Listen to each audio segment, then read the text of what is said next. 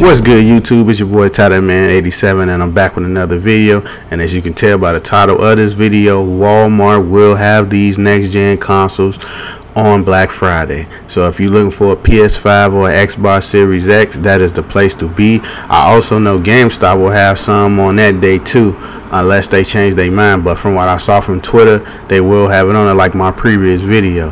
But if you get these consoles online, it will be a hassle because people have bots and they hurry up and snatch them off there. They will fry the server so you cannot get in. So the best bet for me to think for you guys is to go up there and get them.